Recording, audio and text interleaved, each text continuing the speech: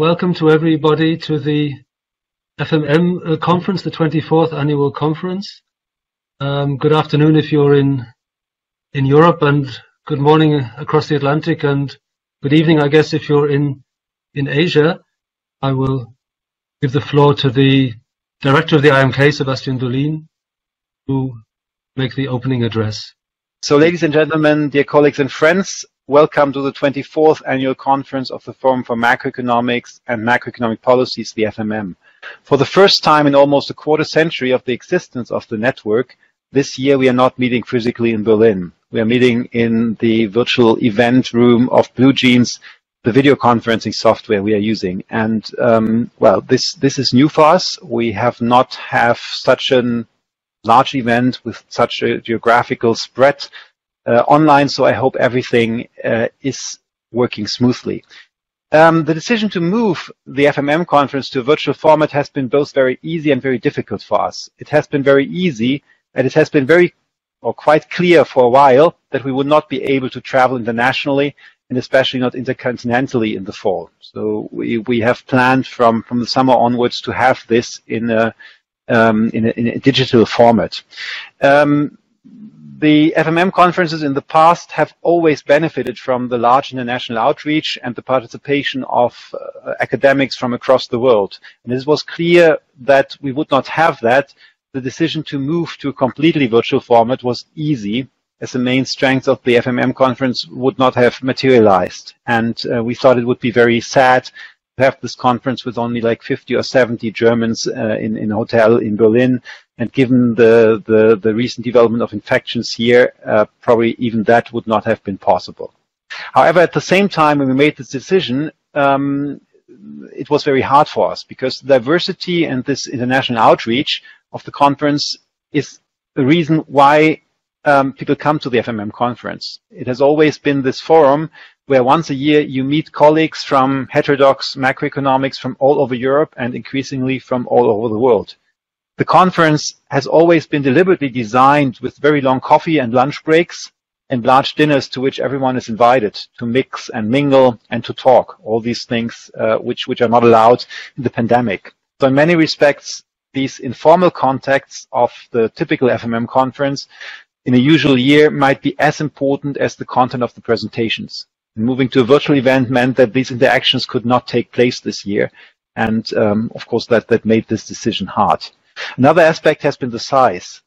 As far as I see, most academic conferences having moved online have been much smaller than their real world equivalents, at least when it comes to the number of presentations. The number of um, the, um, the audience often has been larger.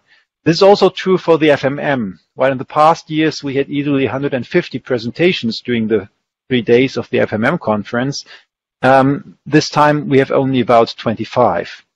This is especially at the expense of the traditional parallel sessions in which researchers at all stages of their career usually have the opportunity to present their research. And all this is the reason that while we of course hope and are confident that this online conference runs smoothly, we will have great discussions even online. We remain very committed to have an on-site conference again next year in the fall. Of course, this cannot be a promise at that point in time. The COVID crisis drags on longer and international travel will still not be possible next year. We might have to take another difficult decision. But if the situation has improved by next summer, we will move mainly offline again. Of course, uh, with the usual streaming services uh, we have already offered in the past, so that those who cannot make it or those who do not, well, want to make it for environmental reasons can listen and join online. We also remain committed to organize our traditional FMM summer school next year.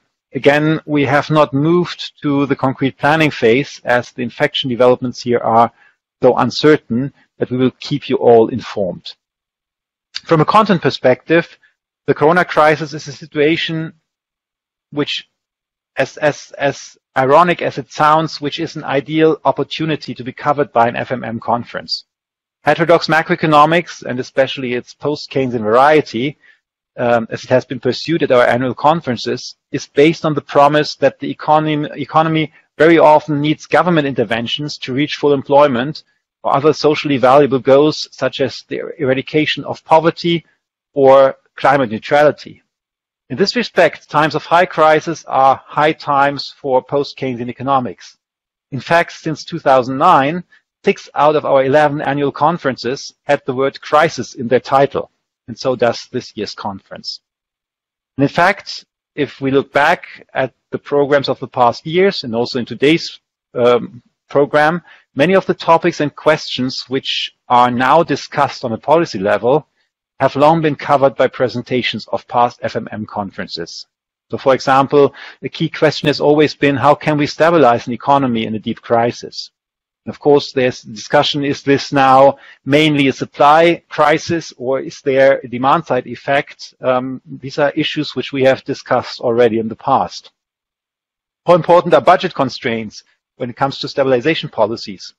Can the government or the government together with the central bank, can they do whatever it takes to save an economy or are there limits to it? What are the risks of very expansionary monetary and fiscal policies?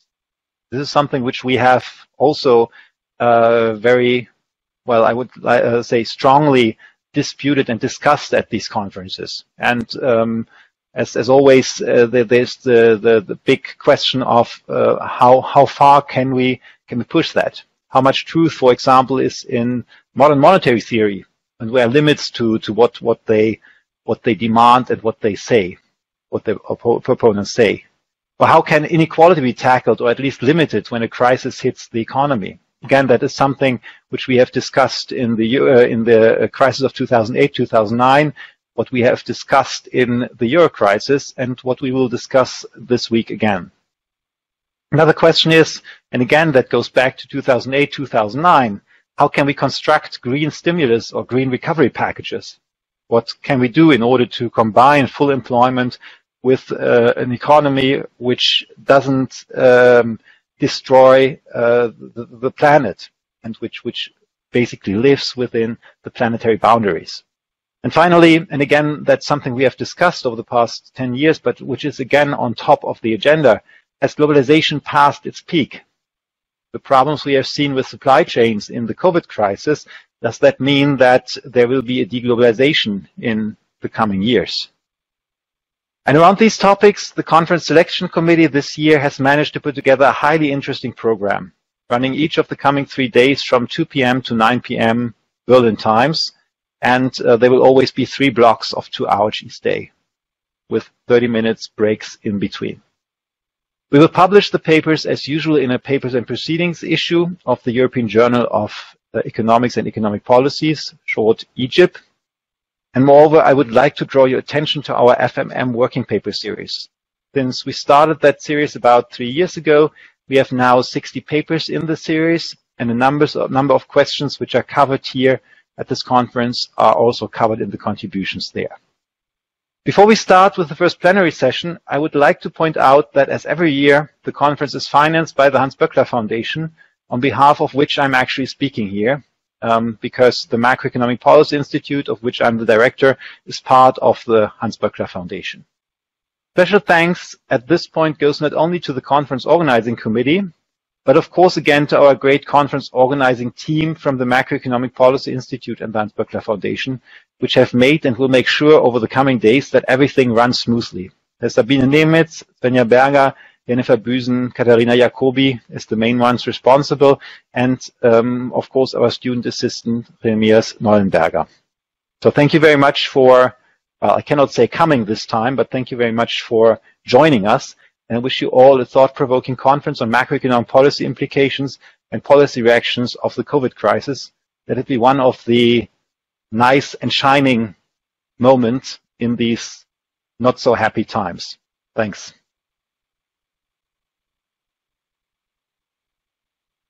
So thank you very much, uh, Sebastian uh, Dullien, uh, for that introduction. Uh, yes, this is one of the things we need to get uh, used to at our normal conferences. Of course, there would be a round of applause after the uh, the introduction. That's not possible under these conditions. So we'll move straight on to the to the first session, and I'm happy to chair that session. My name is Watt. I'm also at the IMK, the Macroeconomic Policy Institute responsible here for European um, economic uh, policy.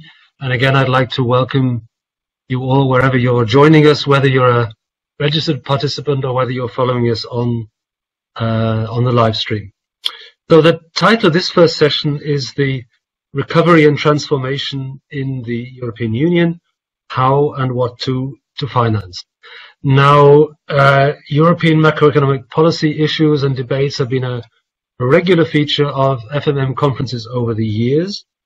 Um, now, the COVID crisis that Sebastian mentioned, uh, which is the sort of linchpin that holds the, the nine panels this year together, has led to an acceleration of reform initiatives, also policy debates in Europe regarding macroeconomic um, policies. On top of that have come, you know, perceptions of an increasing urgency of the need to decarbonize our economies. And these two um, forces, if you like, have uh, led to a questioning of certain orthodoxies, um, previously things that were previously regarded as red lines have now been maybe already crossed or are now uh, up for debate. I gave as an example the, the suspension of the fiscal rules and the plans now under next generation EU to borrow in the name of the European Union three quarters of a trillion or up to three quarters of a trillion euros um, and distribute these funds to, to member states. So there's a, a lot has been going on over a, a, very short period of time. And the, the aim of this panel is to, is to analyze those, those recent developments, particularly then to look ahead at the challenges to come and, and see what's maybe also missing, what still needs to be done. And I'm, I'm really pleased that we've got such, three such uh, prominent and, and well-recognized experts in the field. And I'm going to give the floor uh, in a minute now to, to our first speaker, Jean-Pierre Vidal. Um, he's the chief economic advisor to uh, Charles Michel, the president of the European uh, Council. Our second speaker, uh, and she will be focusing on the on the, the revenue side, is Margit Schratzenstaller from WIFO, the Austrian Institute of Economic Research. Our third speaker, who will focus more on the expenditure side, um, is Francesco uh, Saraceno from OFCE, uh, the French Economics Observatory in in Paris. So the, the format is the following. Each speaker will have 20 minutes. Uh, we want to be as uh, interactive as possible. Say as possible, this is the first time we've put on such a large event uh, in this electronic uh, format. Um, we want to, uh, you know, try and get you also to intervene if you're a registered attendee, intervene um, personally, but we'll have to see how that functions. So this is the plan. Um, please use the chat function. Please um, indicate that you would like to ask a question and um, either write your question in the chat function um, or at least indicate the the thrust of your question and then uh, raise your hand by clicking on the appropriate button, which I believe is on the right-hand side of your screen, um, so that we can uh, try and give you the floor. And if, if that works well, we will we will get you to to intervene personally. If we see there are some technical issues there, then we will use the chat function, and I will pass on your questions to the to the three uh, to the three speakers. Um, so that's what I wanted to say by way of introduction. I'd now like to give the floor to uh, the first speaker, uh, Jean-Pierre Vidal. Uh, you have the floor. Thank you. Thank you very much, uh, Andrew. And uh, first of all, thank you very much for inviting me to talk at this 24th conference of the Forum for Macroeconomics and Macroeconomic Policies. I look at the program of last year. Your 23rd conference was about the 20th anniversary of the euro and macroeconomic challenges. So in fact, I mean, if I had been invited last year, I could have drawn lessons from 20 years of monetary union and highlight upcoming macroeconomic challenges, but more, I would say, from a theoretical and, and, and uh, theoretical perspective in a sense. This year, my remarks are on the European Union's economic response to the crisis, to the COVID-19 crisis. And I do speak while the virus is still spreading in our streets and there is still significant uncertainty about the economic and social implications of, uh, of this crisis. So we are in times of uncertainty, and in times of uncertainty, what is really essential is for leaders to set out strategic orientations and thereby to reduce policy uncertainty. And this is really what European leaders achieved this year by agreeing on the European budget and the 750 billion recovery fund. So in my remarks today, I think I will convey two main messages to you. The first one is that the lessons from the sovereign debt crisis have been learned, and this has led this time to a prompt and creative policy response. The second message is that this recovery plan, by design, reconciles the long-term structural objectives of the Union with a short-term, yet imperative need for macroeconomic stabilization. So, first message, the lessons from the sovereign debt crisis have been learned. We know all very well that the European Union was very much criticized for its policy response to the sovereign debt, sovereign debt crisis. I mean, then we were criticized for being too slow, for providing too little, and being late, or too late. By contrast, this crisis led to an immediate, effective, and commensurate monetary and fiscal policy response to address the socio-economic consequences of the pandemic. First, at the level of all member states. Of course, they are first in line when it comes to fiscal policy. But second, at the level of all European institutions. The monetary policy response with the ECB pandemic emergency purchase program came first, and that's normal because this is the institution that, in a sense, in Europe has most executive power as far as macroeconomic policy is concerned. But all European institutions reacted, and they all reacted in a proactive and creative mood. So, for example, this initially led to the three safety nets that were developed by the Eurogroup. First, the SURE mechanism that was proposed by the European Commission to support, let's say, Kurzarbeit schemes in member states. So that was a safety net for workers.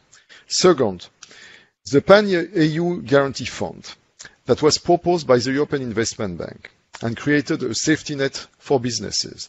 And third, the pandemic crisis support credit line that was proposed by the European Stability Mechanism. And let me stress that this institution is born from the, the previous uh, crisis, from the sovereign debt crisis.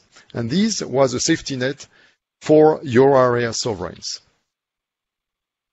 These three safety nets were very important uh, to be at the beginning of the crisis and were developed very early on uh, in this crisis, and they were actually stepping stones to the agreement on the recovery fund that was agreed in July together with the multi-annual financial framework which is our uh, European budget over seven years. What is important to, to stress is that the design of the, Euro, of the European policy response was driven by EU leaders themselves in the European Council. The President of the European Council, Charles Michel, convened four European Council video conferences before the Commission proposal. The European Council set the guidelines mandating the Commission to prepare an exceptional recovery instrument. And the deal, this deal, require one additional video conference before the four days and four nights European Council meeting in July. I do believe that this historic deal is a remarkable achievement for the European Union. It contributes to support economies in the short term while paving the way towards an ambitious transformative agenda in line with the Green Deal on the digital transition uh, that uh, was also agreed by the European Council. My second message. The recovery plan indeed reconciles long-term structural objectives with the imperative need for macroeconomic stabilization. As you know, the European Union has two main ambitions for the next three decades. First, the ambition to become the first carbon neutral economy by 2050. So this is what we call the Green Deal, and this was endorsed by the December, at the December European Council last year. And second, to become more digital with the digital transition. Of course, this transformative agenda will lead to important, very significant structural changes in our economy. When you consider the European budget, the European budget is not the same sort of budget uh, that member states have. It is really an investment budget. It operates transfers across countries through grants, and it was therefore the perfect instrument to promote structural changes in our economies. Of course, the European budget is not designed to cushion, to cushion symmetric shocks. It is not designed for fiscal stabilization. In Europe, we know that fiscal policy is a competence of member states. It's subject to fiscal rules and budgetary surveillance. And it is also clear that the EU budget, with its 1% of GNI size, is relatively small compared to national budget. If you, you know, just to, to give, a, uh, let's say, some perspective on this, I mean, the, the European budget is 1% of GNI, but when you look simply in Europe today, Uh, at the impact of national budgets in terms of fiscal stabilization. Let's just take a, uh, a simple number. The response of national governments is really massive. This year, public expenditure in the European Union will increase from close to 47% of GDP to close to 55% of GDP. And this does provide, of course, I mean, macroeconomic stabilization on the expenditure side. But what was very important in the process that led to the recovery, the agreement to the recovery fund was that leaders um, identify very early on a key macroeconomic issue. And all the video conferences that took place uh, in March, April, May were very important steps uh, to reaching uh, a common understanding there. And this issue was indeed the risk of a crisis of crisis-driven economic divergence in the Union. The concern was simply that not all member states had the same capacity to, respond to this common shock. And there was therefore two clear risks that were identified. First, there was a risk to the integrity of the single market and possibly, I mean, the development of unlevel playing fields related to the different capacity or the different capacity that member states had to support businesses. And second, there was a risk to the integrity of the Eurozone through possible adverse sovereign debt market developments. The response that was provided by the Union, this very significant European policy response, has prevented sovereign debt market turbulences through the crisis. The Recovery Fund as such is two-pronged. On one hand, it financially supports member states that are, as I, I repeat, on the first line when it comes to fiscal stabilization. So it provides them room to, to, to deliver fiscal stabilization. And on this other hand, it supports a transformative agenda. As you know, 30% of the funds under the multi-annual financial framework and Next Generation EU will be devoted to the green objective. And this was agreed at the 1st and 2nd October European Council. 20% of the fund under Next Generation EU will be devoted to the digital objectives. So this brings me to my final remark. The crisis obviously is not over. The virus is still spreading in our street as we speak, and tomorrow evening, the European Council President will chair a video conference with European leaders on COVID-19. Yet, so far the European Union has reacted promptly and decisively to the socio-economic consequences of this crisis. And I will conclude on that and just uh, because as economists we like, we like to use counterfactuals. Just make this thought experiment. What would be the situation of European financial markets today had European leaders not acted timely and decisively to the socio-economic consequences of the COVID-19 crisis? Thank you.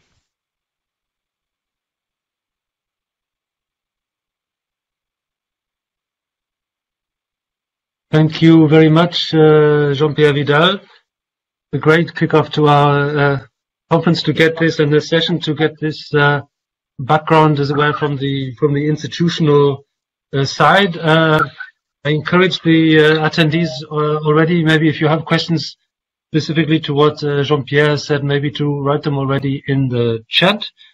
Um, and now I give the floor to the second presenter, Margit Schratzenstaller. So thank you very much for having me here on this most timely uh, and of course very interesting panel um, in this unusual and extraordinary uh, format. Let me start with just a few words on the background and context in which the recent debate and proposals for innovative resources uh, to finance EU activities are uh, embedded. This, this, debate is by far not new. Quite on the contrary, uh, there exists a long-standing decade-old debate about reforms in the system of own resources, considering the various structural deficits of the current financing system uh, for the MFF. Um, the recent economic crisis all over Europe caused by the uh, COVID-19 pandemic has provided new impulses to this decade-old uh, debate, simply because there is a need um, to repay the debt incurred to finance the recovery and resilience fund under next generation um, EU. And the recent emergence of potential innovative own resources with an intrinsically pan-European uh, character is another um, development um, providing inspiration um, to deliberations uh, concerning innovative financial um, sources that may fund EU activities. Um, let's briefly look at the current structure of EU own resources. You see here that the EU budget primarily depends on contributions by member states, um, that is uh, VAT and GNI based own resources. These account for altogether over three-fourths of overall revenues.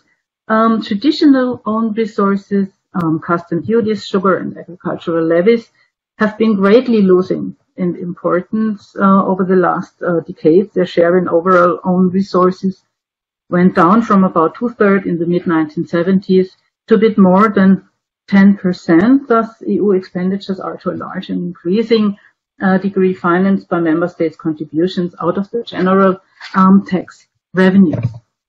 Um, this revenue structure has advantages and disadvantages. On the one hand, the current system of own resources provides a stable and reliable financial basis for the EU budget. Um, it delivers a more or less fair distribution of the financial burden, um, and it leaves the freedom of choice for member states with regard to the sources um, for their national contributions to finance the EU budget, um, according to the subsidiarity principle. But there are also various shortcomings associated with the associated with the current own resource uh, system. It leads to a decreasing and very low financial autonomy of the EU. Um, that the EU budget is mainly financed uh, by direct contributions from member states is the root cause um, of the so-called Tour debate. Uh, that means a focus of member states on net positions instead of a European value added provided by the EU budget. And last but by far not least, uh, the system of own resources as it is now does not contribute at all to central um, European objectives. Um, the current system of own resources does not contribute um, to the overarching goal uh, of sustainable growth and development in um, uh, the EU. And to further important EU policies, a fundamental reform could be part of a comprehensive reform of the MFF to increase European added value uh, of EU expenditures uh, and EU revenues. More concretely, partially replacing current owned resources by innovative and inter alia green uh, own resources would create space for a reduction of member states' tax burdens, uh, particularly with regard to the high taxes on labor, uh, within a reform approach um, that may be labeled as supranational sustainability enhancing tax uh, shift encompassing the EU as well as the member states uh, level. Innovative own resources basically would not necessarily uh, have to be new in the sense of additional, but rather better own resources compared to the current ones. Candidates for such innovative own resources are taxes or levies that cannot be enforced in fact effectively on member state level due to tax competition, due to tax avoidance, due to tax uh, to, to cross-border externalities, etc or which by their very nature uh, cannot be levied uh, by individual member states, and which contribute to European strategies and policies, um, in particular um, climate protection, the circular economy, fair taxation, um, stable uh, financial markets, um, etc. Um, as a high-level group on uh, own resources chaired by Mario Monti in its final report issued in uh, the end of um, 2016, pointed out a basket solution would be preferable. Um, that means green uh, own resources should be implemented together with other innovative own resources so that potential negative effects of specific own resources for individual countries could cancel out to a certain um, extent. Now, let's have a very brief look um, at recent developments in this debate. Uh, the proposals uh, by the European Commission from May 2018 included first steps to innovative own resources uh, to finance uh, the MFF 2021 to 2027. Uh, accordingly, innovative own resources should yield 12% uh, of overall revenues by 2027, thus reducing the share of national contributions from above 80% to 71%. And these own resources should make a contribution to EU priorities, climate protection, circular economy, um, and fair uh, taxation uh, in particular. Um, several potential innovative own resources to finance the MFF will put forward um, a share of 3% in a CCCTB, um, common consolidated corporate tax base, including the digital sector, uh, which should yield about 12 billion uh, euros um, in revenues, a share of 20% in the revenues from auctioning of ETS certificates um, to yield 3 billion euro per year, um, and a plastic-based own resource, which should yield about 7 uh, billion euro per year. Altogether, um, total revenues should reach about 22 billion uh, euro annually. Exactly two years later came the proposal by the European Commission from May 2020 for innovative own resources to finance the recovery and uh, resilience facility. As all, as you all know, probably at the core of the um, recovery and resilience facility um, is the issuance of bonds on financial markets on behalf of the EU up to 750 billion uh, euro and repayment is planned to start after 2027 20, uh, and by 2058 at the latest and to facilitate repayment um, the European Commission uh, proposes the introduction of additional own resources on top of those proposed in May 2018 uh, at a later stage uh, of the 2021 to 2027 financial period. These are the options uh, proposed by the European uh, Commission. Uh, the first one is an ETS-based own resource, including um, a possible extension to maritime and aviation sectors. The second one is an own resource based on the operation of companies drawing benefits from the EU single market.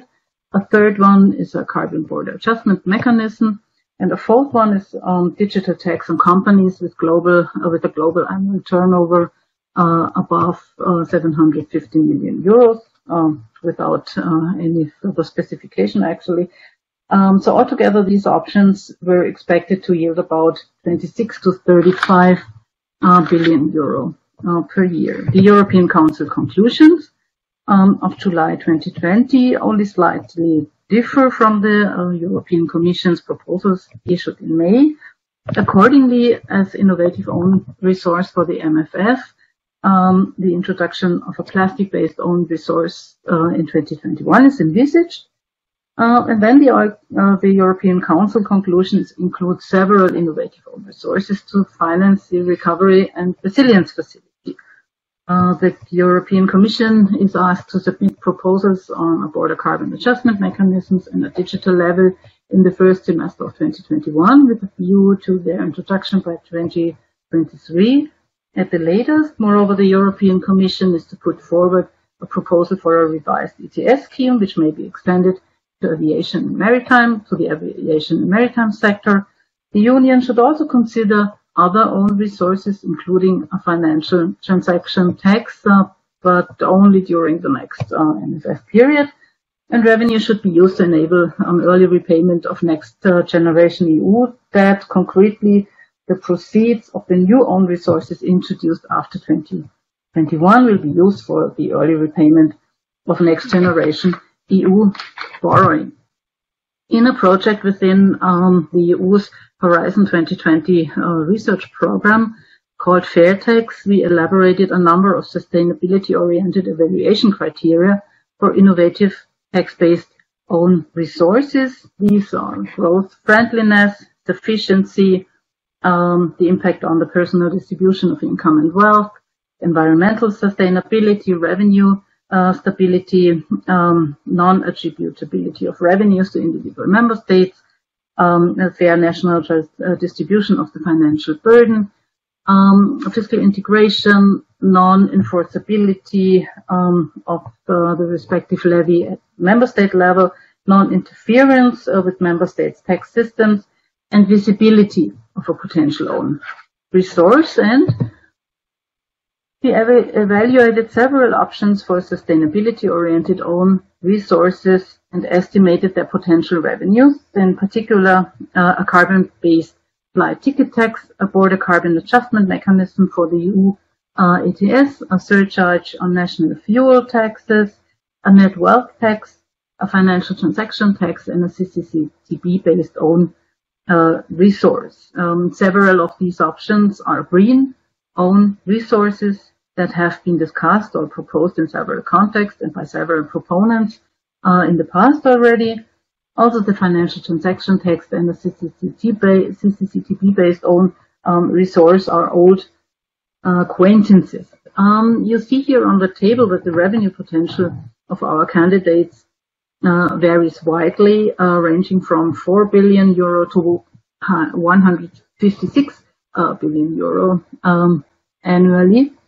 Um, to illustrate their potential contribution to financing um, the MFF, we simply related potential revenues to the EU budget's volume uh, for 2021, according to the uh, Commission's uh, 2018 proposal. Uh, and you see here that um, an FTT based on conservative assumptions, a carbon-based flight ticket tax, and a share of 1% of a CCCTB would not be able to deliver a substantial contribution um, to uh, EU revenues. However, a financial transaction tax uh, estimated under less conservative assumptions, net wealth tax, border carbon adjustment mechanism, and a surcharge on national fuel taxes could substitute uh, significant shares of current own resources. Of specific interest, considering uh, the EU Green Deal and the EU's climate targets, are options for green own resources. And uh, I think there are several options that are worth um, discussing. The first one is uh, the option of a plastic-based uh, contribution um, of um, 80 cents per kilo non-recycled plastic packaging waste as proposed already by the Commission in May 2018. Um, also a share in the revenues from auctioning emission trading certificates um, is an interesting option as well as a border carbon adjustment mechanisms and some um, way to price carbon emissions uh, of aviation. So let's let me just elaborate a bit further in detail on these four options for green owned resources. Um, a plastic-based contribution uh, appears as a quite obvious candidate for own resources due to the cross-border nature of plastic waste and fossil fuel use. Um, that's necessary to produce plastic.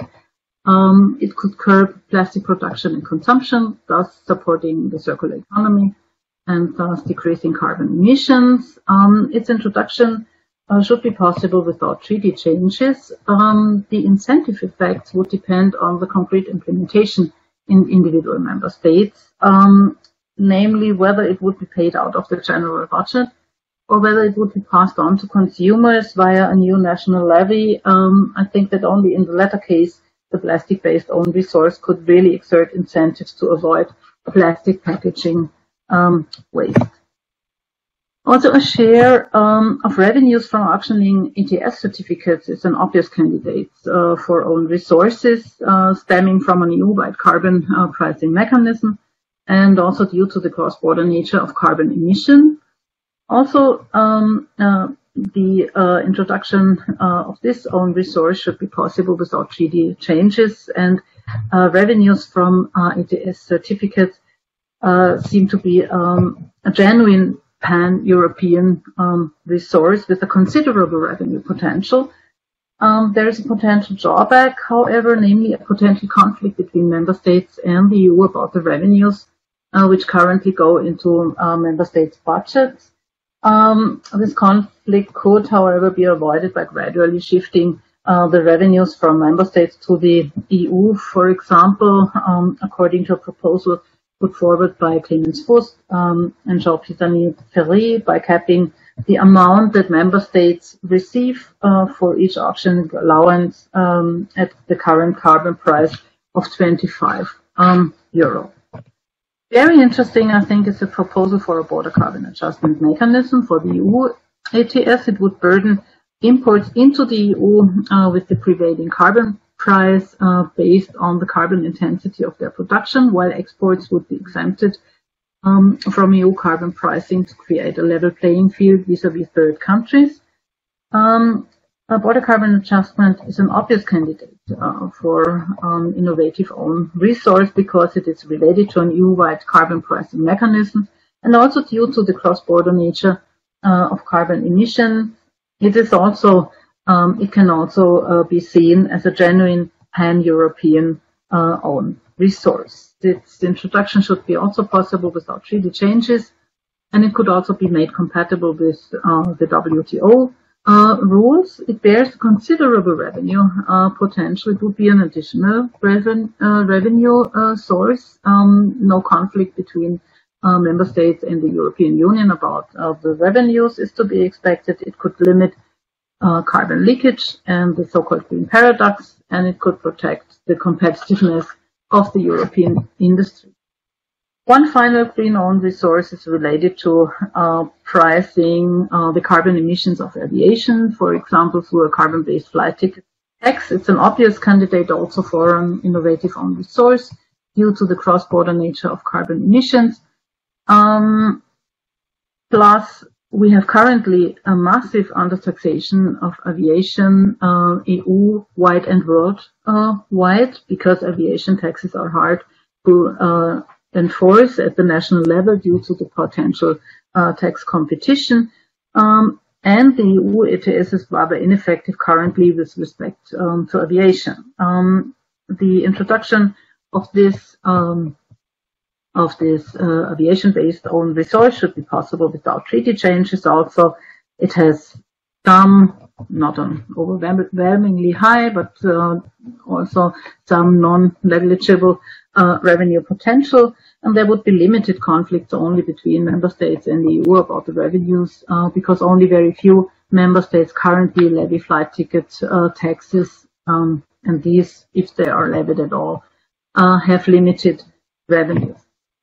Now to sum up, you here you find here a summary evaluation uh, of the most interesting and currently uh, discussed candidates for sustainability-oriented own resources without being able to go uh, into details and well knowing uh, that we could debate extensively um, every plus minus uh, zero and question mark in this table.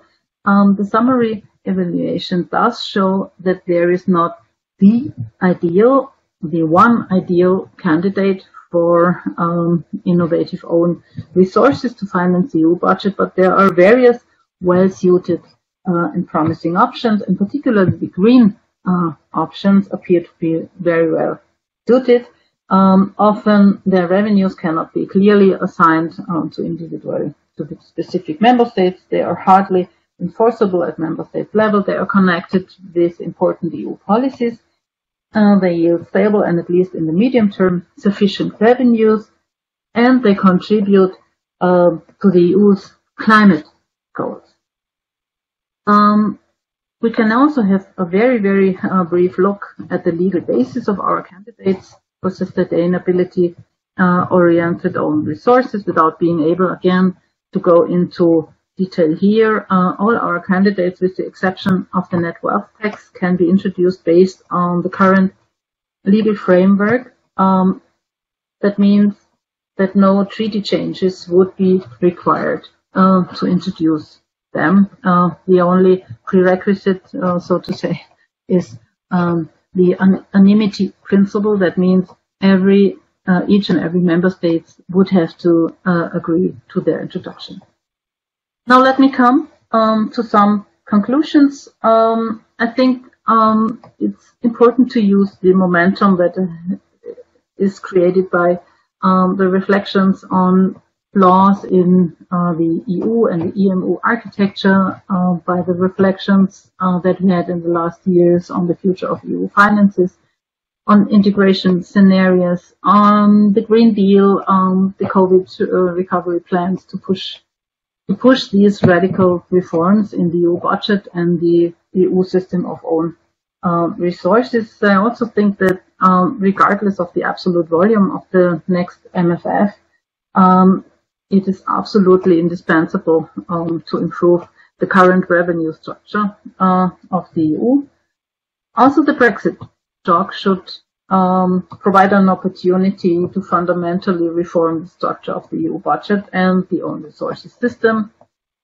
And I think that a comprehensive sustainability orientation of the EU budget could be uh, and should be um, a key element to contribute to import, important European strategies. Innovative sustainability-oriented own resources are a good substitute for a part of current own resources um, and for an increase of current own resources to cover additional financing needs, um, including um, the financing needs um, that are caused uh, by the need to repay the debt incurred for the recovery and resilience resilience um, fund. From an academic point of view, there is a really very sound rationale for such innovative own resources. There are a number of very suited candidates for innovative own resources were to be explored further. Um, they could be in, uh, implemented within the given legal framework and institutional setup. That means that member states would not have to give up uh, national fiscal sovereignty, and they may also um, contribute to a weakening of the net uh, position thinking that has been poisoning uh, the negotiations on the MFF during uh, the last decades. Um, there are several prerequisites for a successful implementation of innovative own resources. A crucial prerequisite um, is to strengthen the EU value added that is created by the MFF and also the Recovery and Resilience uh, Facility, generally um, a stronger sustainability orientation of EU expenditures, because otherwise, um, particularly uh, those innovative tax-based own resources that are quite visible might even increase the resistance um, of citizens against uh, further deepening of European integration. And also package deals are important regarding uh, the structure of the own resources overall package uh, or basket, but also regarding the overall architecture of the MFF, the recovery and resilience facility, and the own resources system. Of course, and that's my final uh, slide, there are several open questions and issues. Uh, many concrete details of the design of the debated innovative own resources are still open and have to be concretized and researched further as well as their economic, social, and ecological impact. Then there is the um, currently uh, less intense debate about uh, Eurozone budget uh, versus uh, the EU budget. And last but not least, the issue whether effective corrective green-owned resources are able to yield sufficient revenues in the long run is, of course, an important issue. So I leave it at that. thanks for your attention, and I'm looking forward to the discussion. Thank you very much, Margit. That was a very comprehensive overview of this important uh, debate, and I'm looking forward to coming back to uh, to discuss these issues. I'm sure uh, Jean-Pierre Vidal, for example, will have uh, some insights as to the way that the own resource debate is is panning out in the European Council. That would be very interesting. Uh, yeah. Um, but before we uh, go to that, I'd like to take the third speaker, Francesco Saraceno, um, and give you the floor, uh, Francesco. Thank you very much, Andy. Let me share with you my my presentation. Okay, so uh, thank you very much for the invitation. It's a pleasure to be here. It's my first participation to this conference, actually, and I also regret not being there for the lunches uh, and coffee breaks uh, Sebastian was mentioning in, in the introduction. So, uh, uh, my I was asked to actually focus on the uh, spending side of the um, of the issue of investment and and uh, and the tools that we're putting in place for the for the next phase, I would say, of this reaction to the pandemic. It's actually um, a long-term perspective that has been introduced with the uh, recovery fund, which I think is uh, very much uh, welcome. So very quickly, what I will do, I will try to go very quickly on the issues related to public investment and the recovery plan. I will not say anything new for this audience, so I can be very quick on that. And then I will actually, I will uh, focus most of my presentation on uh, two recent publications I've been involved in. One is a, a European public investment outlook that I co-edited with uh, a number of uh, colleagues uh, from other institutions. Uh, and then uh, focus on um, uh, another research project that is also ongoing, which is actually focusing on the post-pandemic reaction reaction and the European investment program, and that will be part of the uh, my second part of the presentation. Then I will, I will also try to spend a few minutes on uh, something that is kind of interesting in my opinion and has been really overlooked in the current discussion, which is the uh, capacity that we will have to actually spend this huge amount of money that, that has been made available by the uh, recovery fund. I will just spend a few words on that, but I think it's uh, uh, it's important to actually raise uh, the, the issue in this forum. And then I will give a quick conclusion on what it means for the current debate on macroeconomic governance. So let me start with uh, the part that everybody knows. Actually, I took these, I copied and pasted these slides from the uh, Commission uh, uh, Recovery Fund fact sheet, and basically, it's uh, the Recovery Fund is not, at least the way I see it, was not designed to actually be the first line of defense against the pandemics and the economic fallout from the pandemics. I mean, these Jean-Pierre Vidal said it quite in detail in his presentation. There have been other tools that have been put in place for for the first reaction, for the emergency reaction to the pandemics.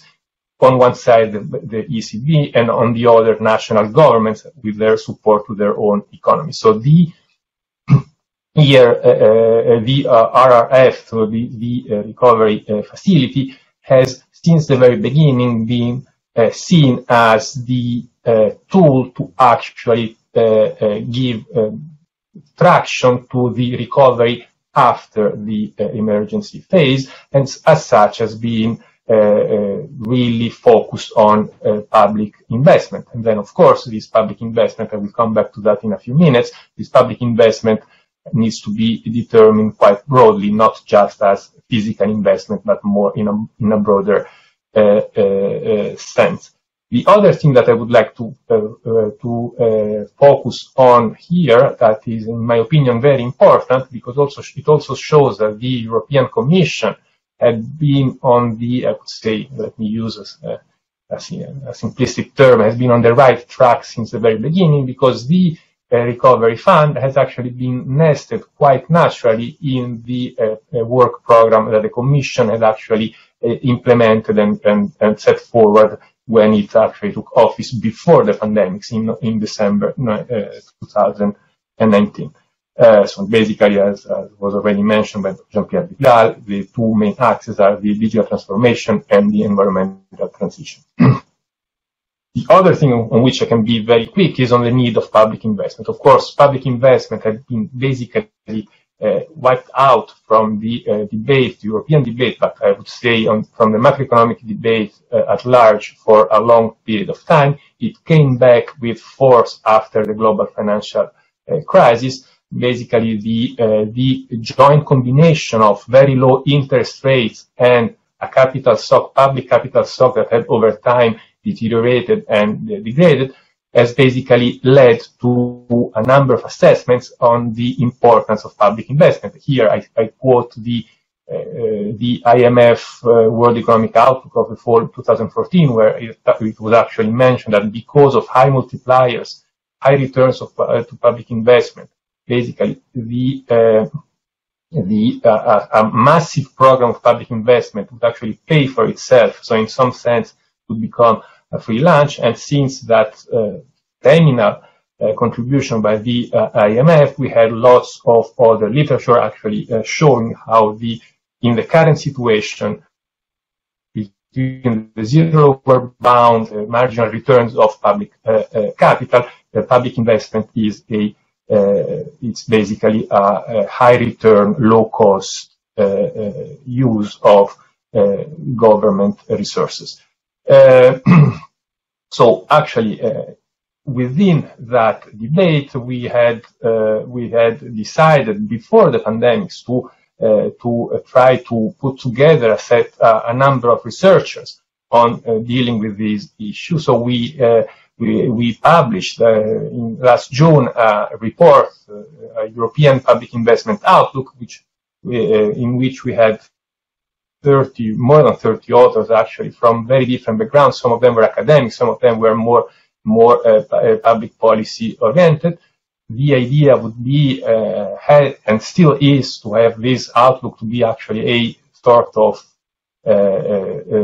regular series coming out and, and, giving a state of the art of the of the state of public investment. And basically, the outlook is divided into parts. One is the outlook, and the other is a focus on uh, more uh, specific challenges that we find uh, to be important. And as I said before, I will not enter into the details actually, but I mean, what I said before is that the report has already adopted as a sort of common uh, line linking all the different chapters, the idea that we need to, to see investment in a broad sense in a, as whatever uh, uh, um, expenditure increases human as well as physical capital. So we, I will give you the list of the chapters in the next slide. As you will see, basically many of the things we, we deal with in the outlook and many of the things that have been actually very much uh, in the uh, current debate on uh, public investment uh, go well beyond the standard in, uh, physical infrastructure definition. I think this is a very important thing that we have to keep in mind,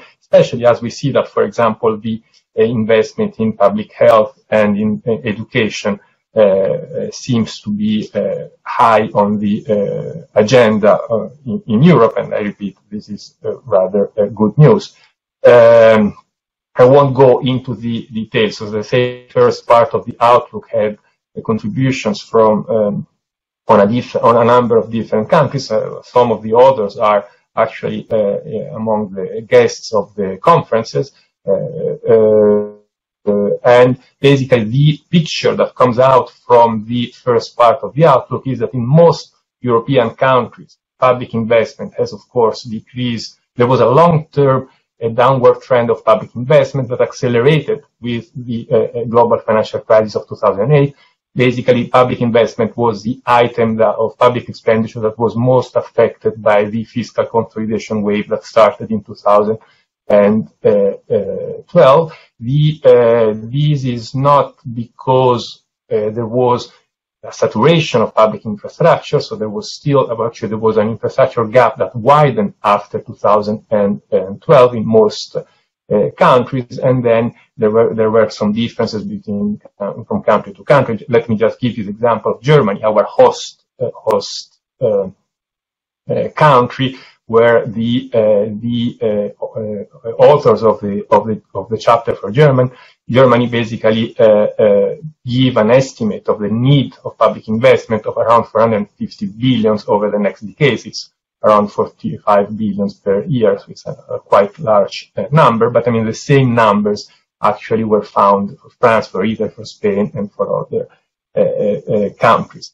Uh, and then the second part of the outlook, we actually uh, went into the details of a number of issues of uh, subjects. Once again, I won't go into the details of all the different chapters. The, the outlook can be downloaded for free, so you're welcome to actually do it.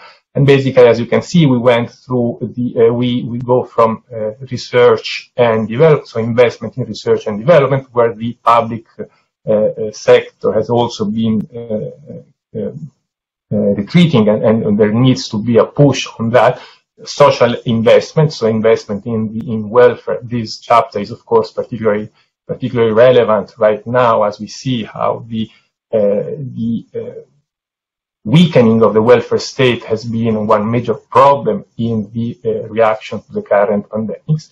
There, there was a chapter on transport. I will come back to that because we have been working on that also after the pandemic.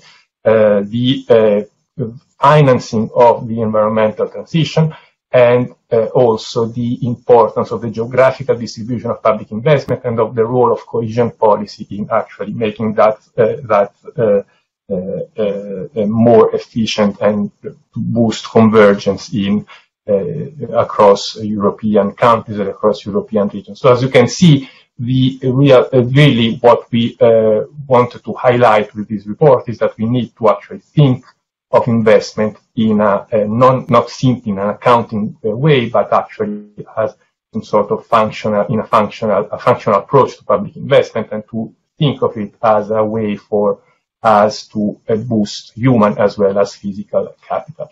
The second small, uh, the second um, uh, uh, item I wanted to tackle here is on the is this joint work with uh, IMK and and we WIIW, which is basically a, a, a, the result of that joint work is the first step of an ongoing research project on public investment in Europe. It's a, a policy brief in which we focused on the, uh, we started from the consideration that the recovery plan, as it has been decided and as is being discussed right now, is basically um, uh, uh, very much focused on financing what remains mostly national uh, uh, investment plans. So basically the uh, commission is raising uh, resources and then uh, distributing them either as grants or as loans to the different countries for these countries to carry on investment plans which of course, I mean, there is a, there will be, and um, it's a very welcome actual conditionality on the utilization of these funds. So these funds will have to be used in a sort of consistent way across all the European countries, but it remains that we don't have, we are missing in the recovery fund, we are missing a truly European investment uh, uh, dimension. And so what we do in the policy brief, we, uh, uh we uh, propose an investment program over a long period of time or over a decade. It's a 2 trillion uh, euros investment program. We focus on three main items, public health, transport, and the, uh, the decarbonization of the economy. And we give a few examples. We are, we were very aware while, while we were writing these texts that this is just these are just examples. We could find many other projects that are that would go in the same directions. But I repeat, the three the three uh, items we chose are have a truly European uh, dimension. And then this uh, two trillion investment program would have also a national pillar in which we, uh, there would be support given to the uh, country, that, to the hardest countries from the crisis. So this would be, if you want, the existing recovery Uh, uh, fund, and then there would be the national, um, the, the European, Euro-wide, EU-wide uh, dimension that is important. And this would be the division of this, the way we, we actually came to this number of 2 trillion in, for the 10 years 2021 2030 as you can see there is a program on health uh, a um, project for a, for a, rapid train network and the um, the uh, creation, the electrification, the creation of e-grids and a sort of uh, e-highways for the decarbonization of the economies. And the national pillar that you see in brown is the um, more or less equivalent, actually smaller in size than the current recovery fund. So the idea uh, of this of these three items, the, these three items would have first uh, the uh, for health. The idea would would be to have a, a European uh, to strengthen the European agencies actually to to to to to merge the European agencies, the existing European agencies, and to strengthen their capacity to both supply medicines and uh, uh, equipment And also, let me stress that because this is coming very clear in these very days where unfortunately we are dealing again with the uh, pandemics, also to try to better coordinate and to incentivize mobility across countries for uh, staff, for personnel, for doctors, because what we are seeing now is that even countries that have been increasing their capacity, for example, in intensive care units, are short of people to operate that. You can quite quickly, actually, uh, uh, increase your physical capacity in healthcare, but then the human capacity, so the, the staff that is capable of operating this increased capacity might actually be missing. And this is something, I mean, we basically miss the doctors to actually run the extra intensive care units. And so the uh, one part of what we proposed was precisely to have this European both uh, dimension, both in training and in allocating resources across different countries, depending on the needs. The train network would be a um, we have very a number of very cool uh, figures actually pictures in this in the in the policy brief. I mean, it would be a, a network linking different uh, different different capitals of the uh, European Union. It would cost around seven percent of GDP Uh, uh, over the uh, 10 years program. And of course, the uh, the idea is to develop and to reduce carbon emission linked to uh, to uh, to air travel. The, we make the example, for example, of the Paris-Berlin Paris-Berlin branch of that would take around four hours, so it would be perfectly competitive with a with uh, Uh, with air travel. And the other thing that I would like to highlight here, it would also participate to the European effort to rethink its industrial policy because it would be a sort of European champion. And we know that there has been a, a very interesting debate in the past couple of years on the on how to revamp, actually how to, to create, I would say, truly European industrial policy. The third item I was mentioning before is the idea of electrifying the Green Deal in some sense. And basically, on one side, the idea was uh, to boost the uh, fundamental research, so boost the uh, research and development uh, part of the of the uh, of the plan. And second, try, to create the uh, the there is a plan to actually um, create an integrated electricity grid that would allow to better allocate the uh, resources and the uh, uh, and electricity across countries depending on demand and and capacity to to, to create it. Uh, the idea we put forward is that this should be actually uh, uh, should go faster, and so the we should we should allocate some resources to in, to to boost that project because that would of course mean the that would of course uh, uh, uh, accelerate the transition out of oil and fossil uh, fuels. Uh, last, as I said, and I'm going to conclude in a few minutes. Last, I would say, uh, last thing I wanted to mention is that the in the current in the current agreement the, that was reached at the Council in July, the idea would be that, that the, the, funds of the recovery fund would be allocated and need to be spent before 2020, uh, would be uh, uh, allocated to projects and, and spent before 2026. And already at the beginning of September, a, uh, an interesting paper by uh, Zsolt Darvas of Bruegel showed that for many countries, uh, this uh, actually could be a problem because there are a few countries in Europe that have a very low, uh, very poor record in uh, already in, in managing the uh, ordinary EU funding structural funds, and the and that short deadline could actually um, bias the the decision of countries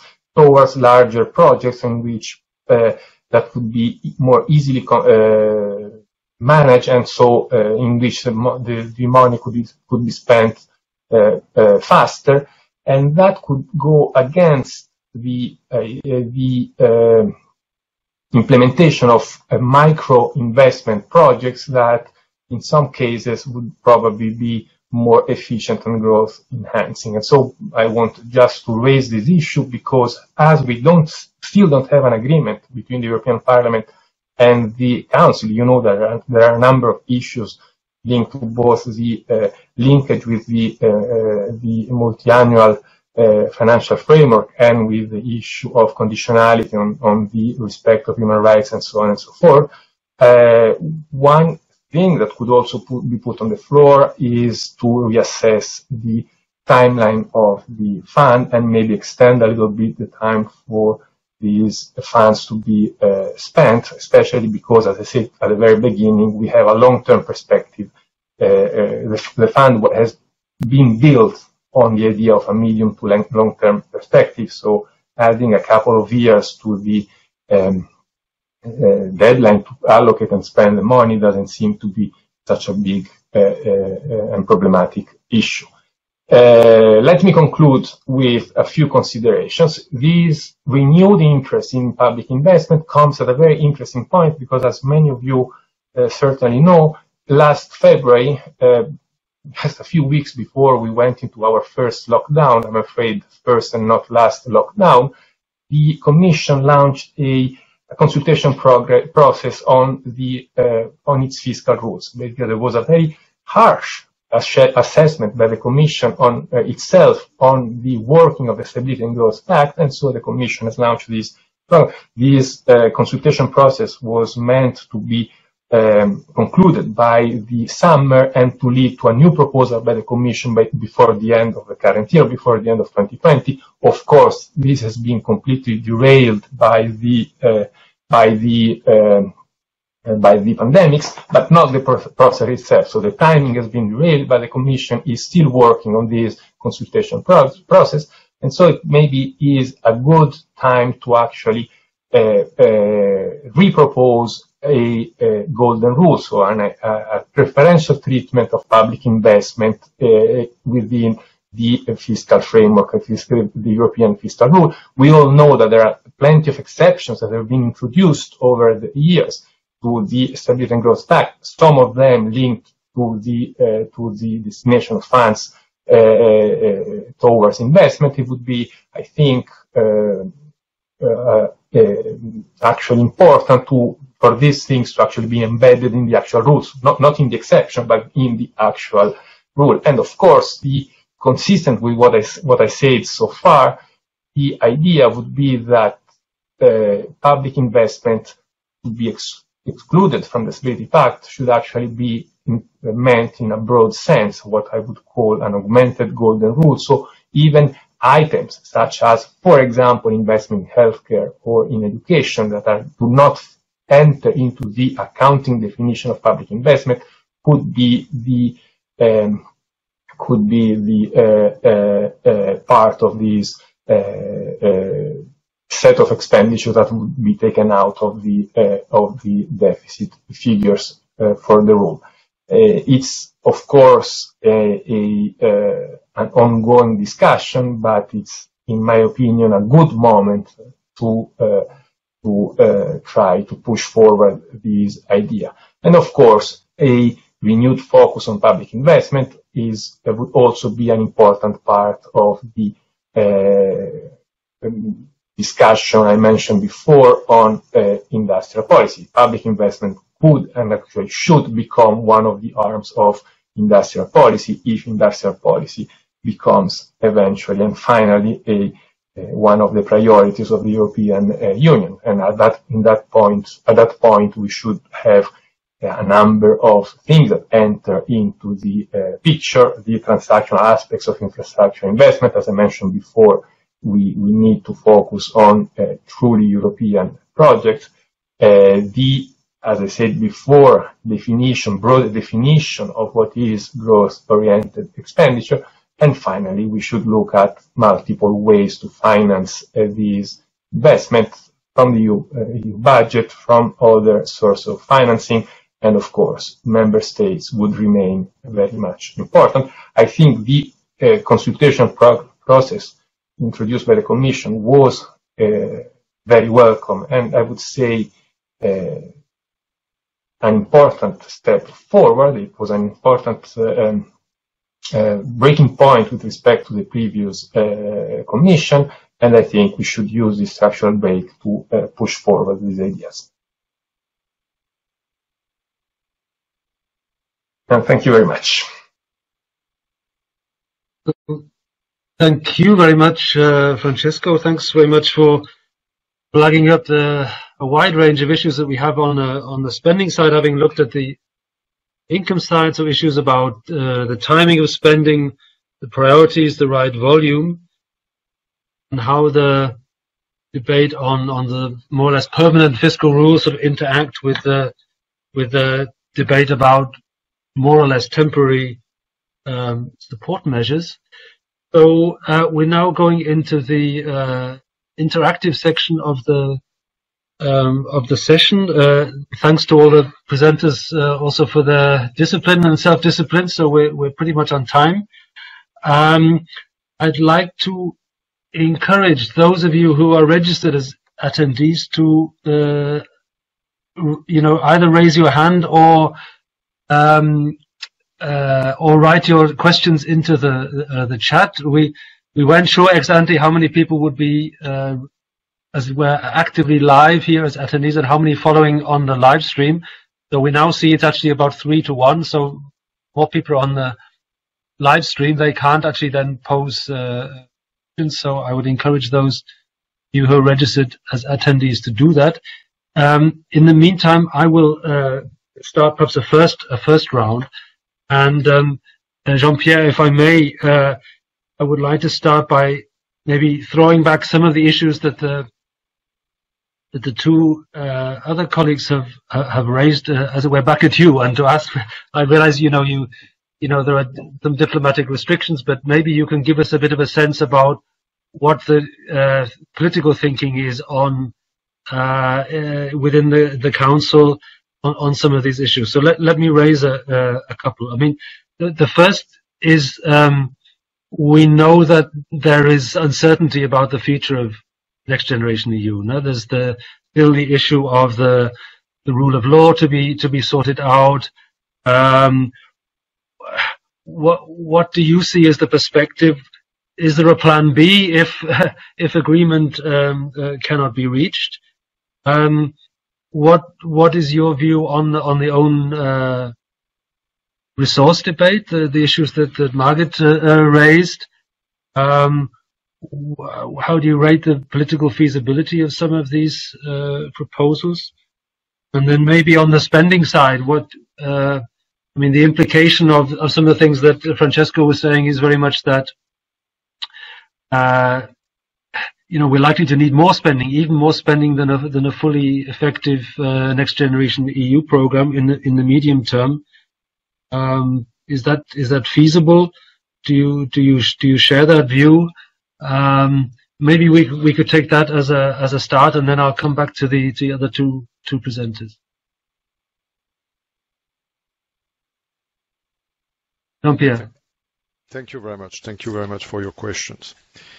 I mean, the uh, uncertainty, what you call uncertainty about the future of next generation EU, I mean, it's not uh, uncertainty, it's a normal process of negotiation between the Council of the European Union and currently I mean, it's the German presidency and the European Parliament.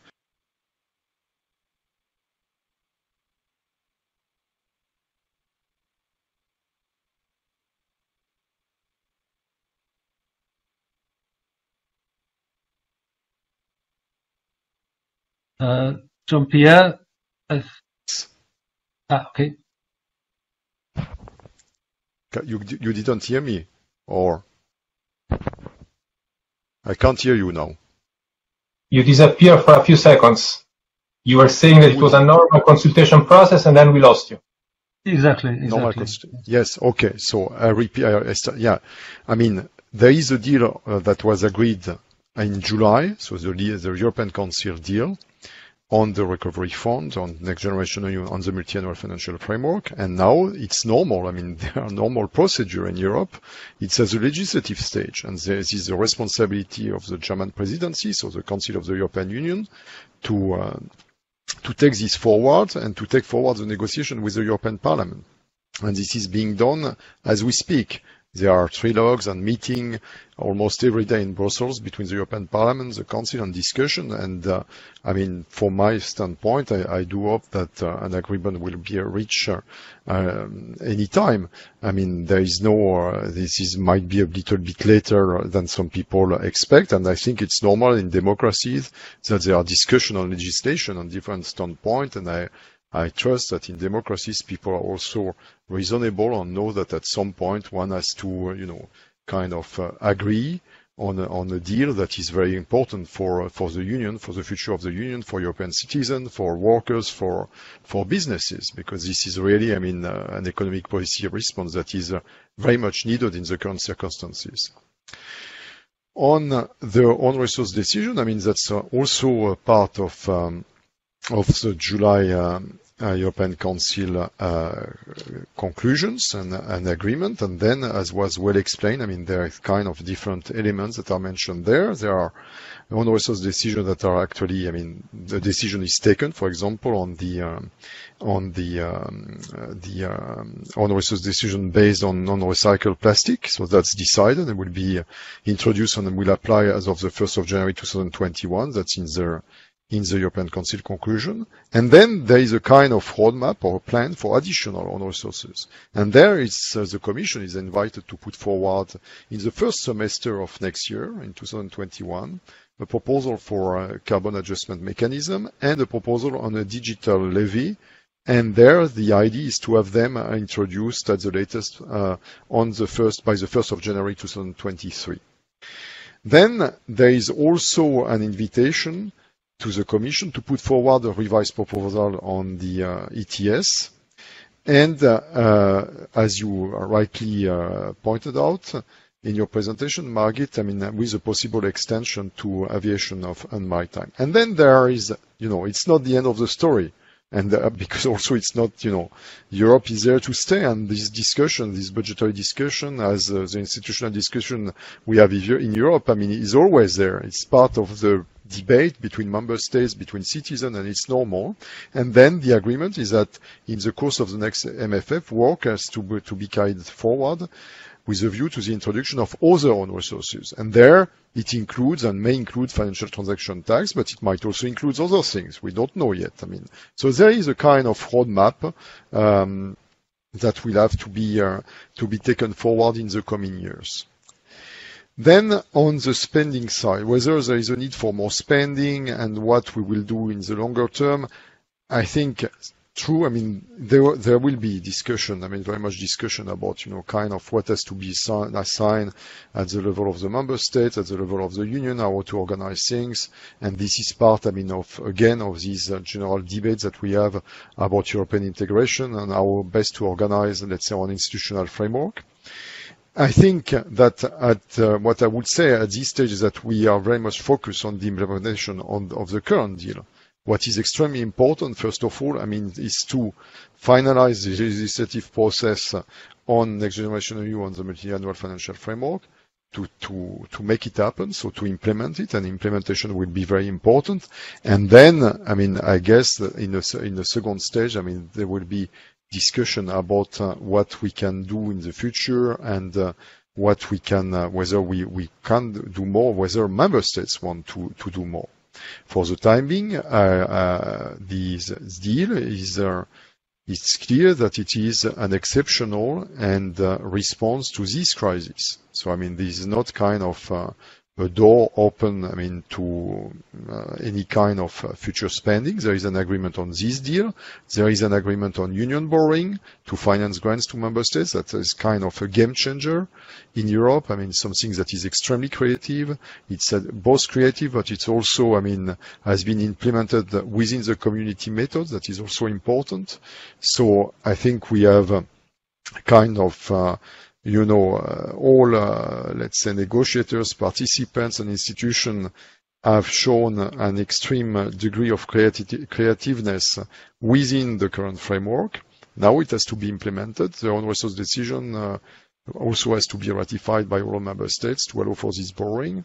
And, uh, and the discussion will, uh, will continue as is normal in Europe because we are, I mean, a union always in progress and towards uh, further development. And uh, that's, uh, that's normal. that's normal and welcome. Thank you. Thank you, uh, Jean-Pierre. So we have now our first question from the floor, and I'd like to ask for Hans-Jörg Herr to uh, be allowed to join the debate and ask his question.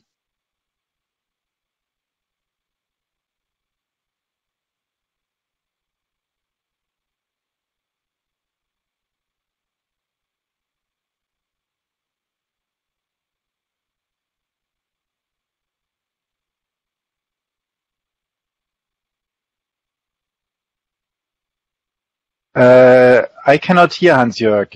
No, Hans-Jörg, we can see you now, but we cannot hear you. Okay, what what should I do? No, no now I now we can hear you. Now we can hear you. Okay, okay. Uh, should I ask my question? Please. Okay, so uh, thank you for uh, these nice uh, presentations.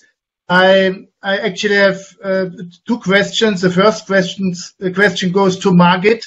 Um, uh, why not just take, let's say, 3% of value added tax to transfer it automatically to the EU budget? Um, uh, is it not possible? Um, I mean, that would be relatively easy to do. Uh, that's my more technical question. My, next question is, in last conferences, there was always a big debate. Uh, if you have a monetary union, you need a central fiscal policy, active fiscal policy. You need uh, uh, joint credits taken on, on, the central level. Now we have this big recovery program, the first time taking uh, uh, jointly uh, credit on the EU level.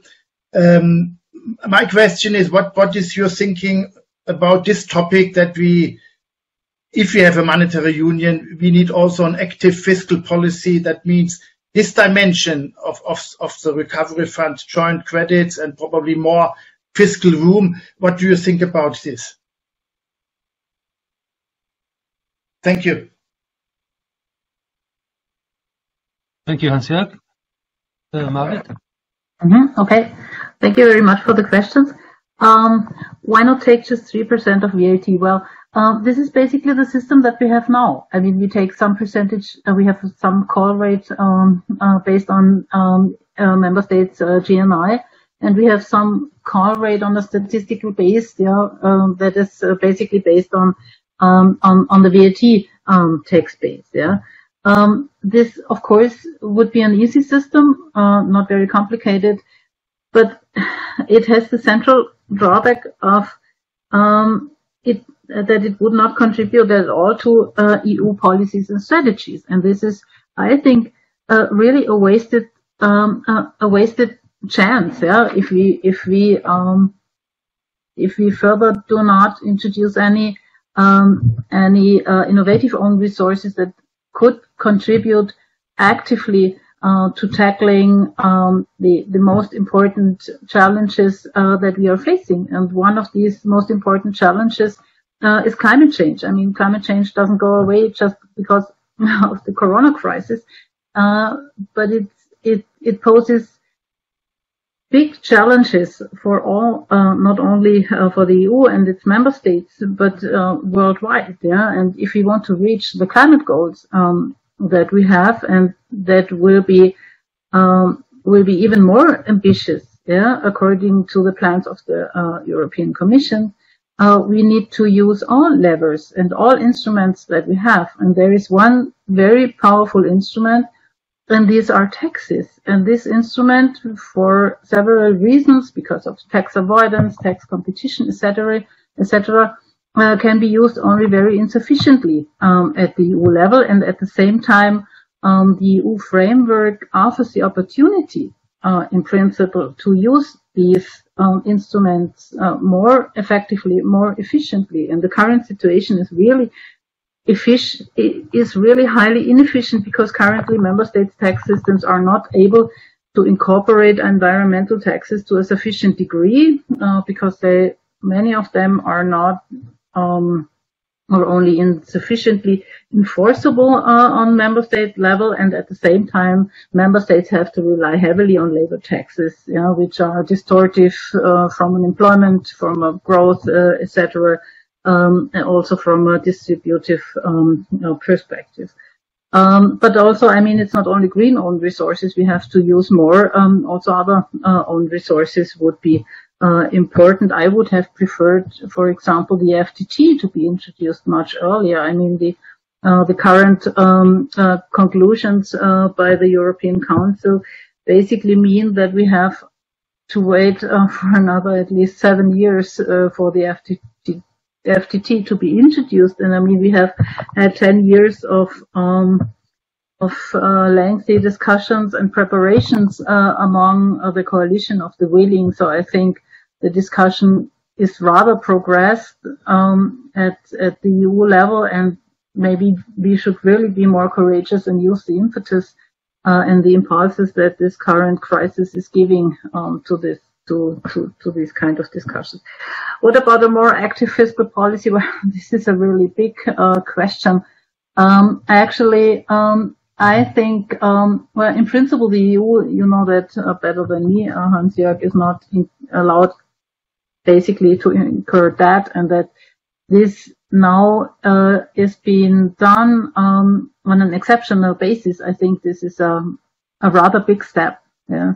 Uh, I'm not sure, um, but but this is something that that other people can discuss. Um, I think this uh, more competently than I can do that. Um, I'm not sure whether whether the current neither the the, the institutional framework uh, the political situation uh, is far enough um, to uh, to allow the EU on on a permanent basis to incur that. But this is something, yeah, that I think should be discussed. Uh, thank you, thank you, Margit. Maybe I can ask a, a, question to to Francesco before I do. Just again to the uh, to the attendees. Um, in fact, it, it, worked now quite well with Hans Jörg. Again, this is the first time we've. Uh, Andy, can I also answer on, on fiscal policy? Do you mind if I answer the? In a second, Francesco. Yes, please do. Um, uh, so just to uh, again to the attendees, it, it's fine if you just uh, use the button on the right to raise your hand, as it were, to ask a question. We, as I say, this is the first time we've used this system to organize such a big conference, so we were a little bit nervous, but it worked very well now with with Hans Jörg. So uh, try that uh, again. So you don't need to write a long question in the chat. Uh, just raise your hand, and and I'll have you given the floor as well. So, Francesco, uh, to, please do answer that question. I'd like to ask you something a bit about what you said about timing and about the multipliers. So, um, we know from the literature that the multipliers on public investment tend to be higher than the multipliers on other forms of government uh, government spending. Um, on the other hand, there's always this issue about timing. Public investment tends to be uh, you know, longer in the planning uh, than, you know, uh, transfers, for example. And some of the things that we discussed in the publication that you referred to, um, how to spend it, of course, you know, require planning processes and, and, and could be quite time consuming. So what's your, what's your view on that? Um, some authors like from Bruegel or from CEPS are a bit skeptical about how quickly countries can, can ramp up, uh, public spending. Uh, I don't know what your view on that is. Maybe from your uh, from your work with uh, with the 30 authors you mentioned, did you look at how how feasible it is to uh, to accelerate uh, the public spending on on infrastructure? Thank you. Uh, maybe you could take that question along with the with the other issue. I will start with the, I mean I will start with the um, well will mix the two actually. the I think the the answer by Hans Jörg needs to be separated in two. So uh, we uh, first is fiscal policy back in town in the game. Uh, because as uh, he said in the previous, I mean, for a long time, monetary policy was believed to be the only uh, uh, kid in town. And if monetary policy was the only kid in town, we had a problem with the European Monetary Union because, of course, we had an imbalance, an unbalanced policy mix. We only had a common policy and no uh, uh, and no specific country tool. To that question, my answer would be yes, and would have been yes for the past few years. I mean, since 2010, at least in the academic uh, literature, fiscal policy is back. And as I mentioned even in my presentation, that even the uh, large organizations like the OECD and the IMF are today much more willing to, to consider the utilization of fiscal policy as a stabilization tool. Uh, so I would I would say that that is the um, so that part of the uh, of the debate, we certainly went forward with respect to a few years uh, back. And of course, within that part, there is issue of the uh, decision of whether fiscal policy should be more current or, or uh, current expenditure or investment. Investment, as you said, is consistent. In most empirical studies we, see, we look at is as consistently higher multipliers in the medium run. Sometimes the short-term multiplier is much shorter because you have all the implementation uh, uh, lags uh, that are important. This is why I actually said in my presentation that I always saw since day one the recovery fund as a medium-term tool. I mean, uh, those who say in the, in the Italian debate, for example, have been some polemical arguments on the fact that this the recovery fund would come in too late, etc., etc. I thought I thought that debate was completely misplaced. I mean, the recovery fund is a medium-term uh, tool, and we want it to be a medium-term tool precisely because it deals with investment, and investment has some sort of incompressible uh, um, delays. So I would say that this is not an issue as long as we don't see it as a counter-cyclical stabilization tool for today's uh, crisis. That leads me to the more philosophical part of the question, is the recovery fund a European budget, and a, a, a, European stabilization uh, tool? I would say no. I would say no, because I, also I said, I pointed out in the, in the presentation, I mean, the recovery fund is just a very, I mean, I don't want at all to downplay it. It's a very important step forward. Margit said rightly so that it's temporary and um, limited. I mean, I think you see temporary and limited every two words. Every time a German official speaks about it, they say temporary and limited uh, uh, 10 times a sentence. Uh, but I mean, we all know how many temporary tools eventually became permanent in Europe. So I mean, once things are on the floor, they might actually evolve and become um, become permanent, especially if we manage to make them uh, successful. So, on uh, So it will, it might become, it might be the embryo of a uh, EU-wide stabilization uh, tool, but it is clear that now it is not, because as I said before in my presentation, this is just a very powerful, and I repeat, groundbreaking financing tool of national fiscal policies. And let me add that maybe this is just the way it should be because we don't live in the European in, in the United States of Europe, we still have that the uh, sovereign decision on tax and spend stays likely so where the accountability to voters is, which is in national government. So we can imagine having uh, uh, EU-wide projects as the ones we uh, have discussed in our joint policy brief, Andy. But I mean, it remains that the bulk of fiscal policy in today's Europe needs to stay within um, member countries. So we need active fiscal policies. I think this is now an evidence in the literature. For the moment, they are within national uh, governments. This ability, uh, the recovery fund is a huge facilitator of these uh, active fiscal policies. It's not yet, and I repeat, maybe it should not be for the moment a EU-wide fiscal instrument because we don't have a EU-wide government. Let me say it uh, uh, clearly.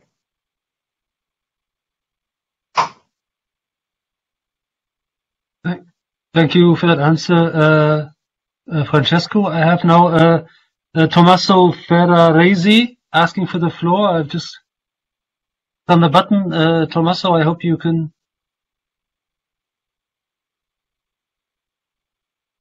Ask your question now.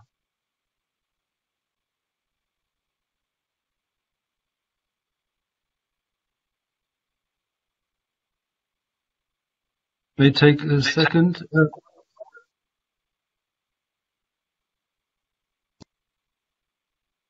Hello, Thomas. We see you now. Okay. Can you hear me? Yes, indeed. Please. Okay. So thank you for the nice panel. I have a question for uh, Francesco Saraceno. Actually, uh, I, I, was reasoning about lessons we learned from the Great Recession, and I, I um, and uh, in particular on I, am thinking about the choices. Uh, it seems that the Italian government is uh, doing by making its plan uh, in the for the use of the recovery fund, and I, was I, I, don't know whether do you think that uh, there is a sort of there may there might be a fear of a reversal in the acceptance of uh, public debt uh, in the medium term, as it happened uh, during the Great Recession, driving, I mean, the, the, the, the choices of policymakers in, I mean, I mean, in a, undershooting uh, the policy response so that uh, they, they will be cautious, cautious uh, in undertaking public investment, especially I'm, I'm thinking about the the debt financed part of the recovery fund. So the part that, I mean, in the end, they, they have to repay. Uh, thank you.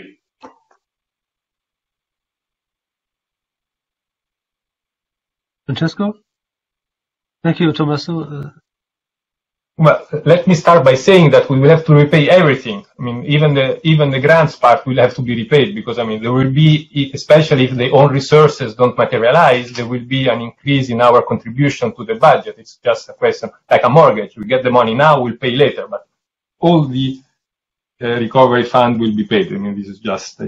Uh, so, there, will there be a reverse? I don't know. I mean, this is a very difficult question. Uh, I mean, anybody who ventures in, in forecasts and predictions right now, I mean, is very brave. I mean, so I don't want to, to be, uh, to, to, to be too final on that.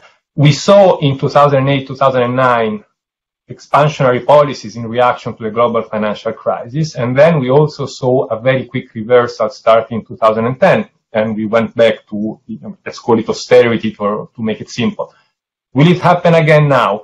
Uh, it might, it might. I mean, it's not, uh, we, we don't know uh, in two years time if we will go back to a big emphasis on public debt and, and to uh, the uh, fiscal consolidation. I think there are a few things now that we didn't have in 2010 that make, uh, make me think that we might eventually I mean, we might not go back to the austerity we, we, we saw in the early years 2010. The first thing is that we are all on the same boat in some sense. I mean, the increase in public debt has been generalized. And so there, it's uh, going to be difficult, for example, to reinstate the Stability Pact as it was. I mean, you know, uh, Andy, I think, uh, mentioned that in the very beginning, it has been suspended. Basically, it's not been suspended. We, we, we are all in the uh, exemption clause, if you want, of the suspension clause of the Stability Pact I don't see uh, that to come back uh, very soon, actually, at all, uh, because uh, public debt is, is so large in so many countries that in, if the stability pact had to come back, all countries would have to undergo very strong austerity, and I don't see that as a politically feasible. Forget the economic uh, nonsense that that would imply. I don't see it as a politically feasible uh, strategy. So that is the first element that makes me think that maybe things will be uh, different. And the second, now I'm very cautious because I speak in front of lots of Germans in the, on, on, so I'm, I'm, I'm, the second, I, I think I see a change of attitude of the German government. And maybe it's more permanent than just a short-term thing. First of all, the uh, the global context, the global geopolitical context is very different from 2010. So it will be harder for Germany to neglect our uh, small European courtyard and go look elsewhere for its exports. So the stability of the euro and of the eurozone might now be more valuable to Germany uh, than it was in 2010 because of all the ge geopolitical tensions that will not go away after next Tuesday, whatever happens at the uh, in the American election. And the second is that it seems that, while I repeat, I speak, I'm very cautious here because I speak in front of many distinguished German economists. It seems that a new generation of German economists is uh, coming up and, and getting into the uh, right institutions, and they don't seem to share all the uh, uh, views of the old generation. So there might be a permanent change in the in the German uh, uh, political eco uh, economic policy landscape, and that also is something that is different from 2010. But I repeat, if you ask me, will there be austerity in in, in three years? My, my real, my real answer, honest, honest answer is I have no idea. Thank you, uh, Francesco. So maybe some distinguished German economists in the audience will, would like to uh, to come back about that. If not, I might be tempted myself to uh, to have a go. But in the meantime, maybe uh, as no one else has asked for the floor, please please do so. Uh, maybe I could ask two questions. One is maybe I don't know. The first, I think, is more towards uh, uh, Margit, but others may have a, a view too. Um, it's about the border adjustment levy. So this seems to me to have many very attractive features, right? It seems to tick, even in your table, it ticks a lot of the boxes in a, in a quite literal uh, sense, right? And, and, and more generally as well, um, you know, achieving, uh, also underpinning the green agenda, protecting competitiveness and, and, and jobs, stopping carbon, carbon leakage and stuff. Maybe you could say a little bit more about that, but maybe also, uh, Jean-Pierre, you have a view too. Um, you know, something about the sort of revenues one might expect, and of course, also the political feasibility issue, right? We know that it has to be WTO uh, conforming. Um, how how easy is that to do? Uh, will, is this likely to provoke a trade war? I mean, is this maybe you could say something on those lines? And another question, again, more perhaps to, to Jean Pierre, but others may have a view. What about this the loan component, the loan component in uh, in Next Generation EU? So my institute, uh, the IMK, we just did a, quantitative study. We basically set the loan component at zero, right? We we just looked at the grants because there's a sort of fundamental uncertainty there about how many countries are going to take out the loans. Now, we, we've seen that under the SURE program, many countries have, have not taken out the loans, um, simply because they see no uh, no great advantage. Um, do you or any of the panelists do you have a view about the, the, the loan component? Is it is it fine if the countries they don't need the loans they don't take them? That's also fine. What, what, what's your what's your view about this or your expectations about this? But maybe I give the floor first to, to Margit and then to, to Jean-Pierre, if you agree, and then maybe Francesco. Mm-hmm. Yeah, thank you for this question. I mean, that's a, that's a very broad question too, and it's a very complicated, actually, and also technically complicated um, discussion. Um, basically, I know um, there are all these fears about, um, yeah, risking a trade war, but actually, I mean, one just has to um, has to bear in mind that um, the main intention of the proposal is to create a level playing field, yeah, to compensate for competitive disadvantages that Europe has because it has a, a carbon pricing uh, um, at a level uh, that's not uh, that's kind of undercut by other regions in the world. So it's not kind of an active attack yeah, uh, on other parts of the world, but it's rather uh, kind of a defense, yeah, and and a defense uh, of the um, competitiveness of the European industry. Um, what um, what concerns uh, the WTO compatibility is, of course, I think that's one of the crucial issues. Um, I'm no legal expert, and I don't uh, see myself fit to really discuss this question here in detail. Um, but there are, in the meantime, there are some uh, interesting works. Uh, one uh, from my colleague uh, inter alia, Alexander Krenek, who has in detail um, um, explored uh, this question of the WTO compatibility and has also made a concrete proposal um, how to secure WTO compatibility, and he's not the only one. So I think Um, this is something um, that could be ensured uh, to make the proposal WTO compatible. Um, that's more a technical um, discussion, I think. Um, that that that can be solved. Yeah, and and again, I think it's it's really it's really important uh, to keep in mind that this is something that's no active attack on some other parts of the world, but it's kind of a defense measure um, that actually Europe needs if it really wants to um, and wants to keep and also to scale up. I mean, you have to uh, you have to keep in mind. I mean, the current carbon price at the European level is really low. It's about 25, 29 euros per ton carbon emission. This is, I mean, this is nothing. If you ask the experts um, about um, the carbon price that's required yeah, um, to to just to come close um, to the um, to the uh, emission goals, yeah, then we have to talk about 60, 70, 80 euro per ton emissions, and and and and on increasing uh, scale, yeah, uh, in in the medium run. So,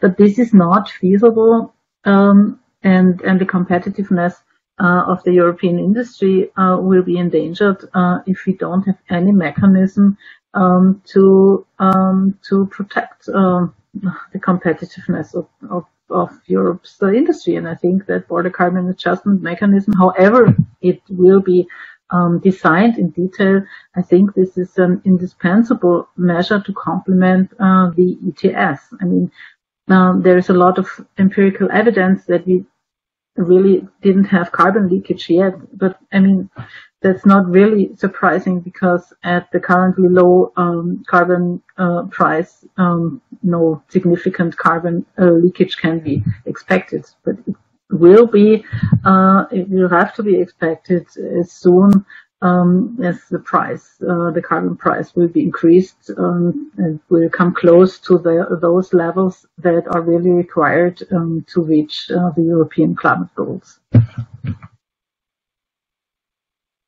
Thanks. Uh, Jean-Pierre, would you like to the floor? Yes. Yes. So thank you. I mean, I fully agree with what Margit uh, said on the uh, carbon border adjustment mechanism. I trust the European Commission will come up with a scheme that is both efficient and also fully compatible with the World Trade Organization principle. So, and this is indeed very important to ensure level playing field on the single market and to to actually, I mean, to um, to make good on our uh, ambition. I mean, to uh, first, I mean, to be a carbon neutral economy, but also, I mean, to our ambition to contribute to saving the planet from global warming. So this would be a very important element, but it's a tool. It's not necessarily something that, uh, if it works well, I mean, if uh, actually all countries uh, were to adhere to uh, to the to the Paris Agreement and I mean, comply, I mean, with um, with uh, the, this great ambition, which is to to reduce uh, to reduce um, the rise of temperature uh, on the Earth, I mean, then in this case, I mean, probably this carbon border adjustment mechanism will not bring any money in the in the European treasuries because I mean, other other countries will be compliant with the same principles as, as ours. But that's for the very long term. So in uh, in the transition, it might certainly bring some money in our in our in our in our treasuries. I mean, as a corrective uh, as a corrective mechanism. Now let me turn briefly on the loan component of uh, Next Generation EU. I mean, these. Uh, I mean, it's of course up to the member state to design their uh, recovery uh, plans, and I mean, each one of them has uh, to have you know its own decision on how they want to finance their the transition. And but this is an opportunity. I think it's an important opportunity for them. I think at this stage, I mean, it's probably a bit too early uh, to to see, I mean, the I mean, what will be the final uh, recovery recovery plans. I mean, member states are, I mean, in discussion with the European Commission, so they are in the preparation phase. For me, as far as I understand, I think the loan component is very important because, in fact, uh, it's, uh, I mean, kind of a loan uh, that is no longer, I mean, kind of, um, for member states, from the standpoint of a member states, that's uh, these um, the borrowing from the union is is uh, is not you know kind of uh, a bond that circulates on the market, so it reduces uh, the market float of sovereign debt. So it makes it, I mean, actually, I mean, it facilitates market access from my standpoint.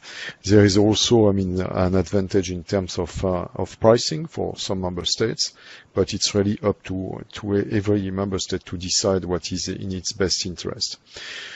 As an economist, I would tend to think that um, if member states, you know, uh, don't uh, don't want to, um, I mean, to commit to um, to um, to borrowing from from the union at this stage, because I mean, this program, I mean, the recovery plans are over several years.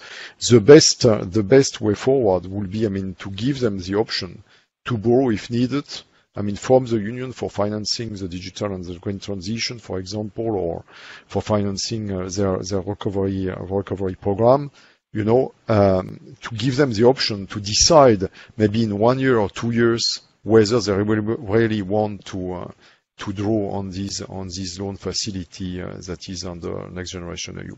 But here I'm talking as an economist because I think there is an option value of deciding where you want where where from you want to to borrow the to to borrow either from the markets or or from the union. But I think it's uh, in any case, I mean it's uh, it was a good feature of this uh, of this uh, recovery fund and I do think that all these elements have uh, significantly contributed to uh, to tame, let's say, market turbulences that could have occurred during the first phase of the crisis. It has uh, you know, enhance uh, confidence in uh, in the creditworthiness of all European or European uh, countries actually, and this is the way the market has has taken, you know, has understood. I mean, this deal, and this is, to my view, very well reflected in the current level of interest rates and spread throughout the European Union. Thank you. Thanks very much. Uh, Francesco, would you like to come in? Otherwise, I have one question from the floor to take. Just a very few words, so we have another round of questions. I mean, I, I, I agree with Jean-Pierre Vidal. It's, it's, member countries will have to weigh cost and benefits of taking these loans. On the cost, on the, on the benefit side is, of course, especially for countries like Italy or Spain or other countries, is, of course, uh, some savings in interest on the cost side of taking these loans. There are some conditions on the utilization of these funds, which I repeat are most welcome conditions because they need to be used for the common goal of facilitating, uh, facilitating the uh, digital and ecological transition. And as I mentioned before, there might be some uh, issues with the timing of the uh, of the allocation of this money. I mean, if you borrow from markets, I mean, there is no time limiting when you can use the money. So it's, it's of course something that countries which don't have the capacity to spend quickly this money might actually uh, consider when deciding whether to go for markets or for the recovery fund in taking this money. But I mean, I, I agree. It's in the end, it will be a choice that each member country will have to make, uh, weighting all these elements. Thanks. Uh, so I had a question. Uh, uh, Mr. or Mrs. I don't know, Durai Durai Raja had asked for the floor. Now I don't see him or her Yes. on the. Yes, Ah, I he- I just have yes, however, I just have a question about about the policies. Can I go ahead with that? Please, please do. Yes. Uh, basically, basically the uh, for the sustainable recovery, the governments or the uh, decision-making bodies have to uh, take the decisions about as to uh, how to go about the future things. So my question here is uh, how these kind of um, conferences would influence the policymakers or the decision makers. That's what my question. Okay. Thank you. Anybody from the panel like to address this? Yeah, I can, I can take this question. Jean-Pierre the quick- quick to answer. He's the, he's the policymaker.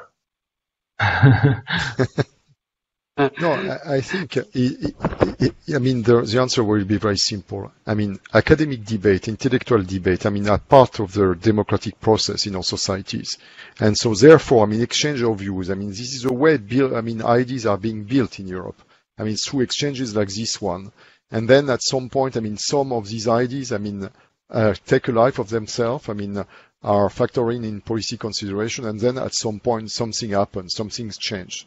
And if you look at the whole history of the European Union, you will find that it always starts with intellectuals having ideas, and at some point, I mean, these ideas, I mean, are better shaped. They start to have some, let's say, importance in the policy debate, and then other people, the politicians, I mean, policymakers, I mean, they also develop these ideas further, and at some point come come up with concrete proposals, and then these proposals sometimes they can fail at this stage, or they can they can be uh, they are considered agreeable, and then it's a further step in in our policy framework or in our policies. That has always been like that. So these kind of debates are, to my view, extremely important, and is the very nature actually also of the democratic debate. Sure. Thank you for the answer. Thank you. Thank you for your question. Thank you for the answer. So I think what what I'd like to do now is is start to wind up the session as the the, the clock is ticking. Uh, maybe I could go back to the panel, maybe maybe in reverse order. Um, so what I'd like you to do now is to really think a little bit out of the box and a little bit towards the towards the future. So if I can sum up some of the things we've been discussing, um, um, you know, the, the, the fiscal rules and and the economic governance of the European Union have been under discussion for a long time. But I think a lot of people see the events of the last uh, six months or maybe nine months really as a game changer. And that's a bit my question to you. Um, there was talk of a Hamiltonian moment um, in the European Union. Um, do you think we've had a Hamiltonian? So Hamiltonian moment, for those who don't know, the, the, this was the moment when after the this, um, the War of Independence in the uh, in the U.S., the uh, the federal level took over the debts of the of the states of the federal states of the U.S.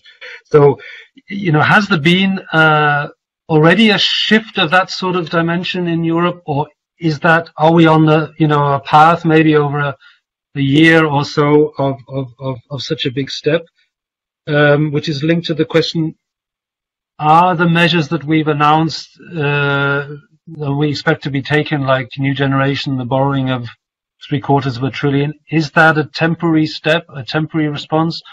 Or as I think Francesco was implying, you know, is this the the start of something big, uh, where where some will see this as a slippery slope no, to something they don't like, uh, European superstate, or as uh, more federally inclined observers will think, you know, is this finally what what the Europeans should have been doing for the last uh, 20 years, maybe. You know, and we've we've needed this crisis to uh, uh, to actually move in that direction. So maybe I could ask you to to put on those slightly longer term spectacles now. Uh, if you agree, I would go maybe in reverse order and start with Francesco and then Margit and then Jean-Pierre and then, we'll close. Thank you.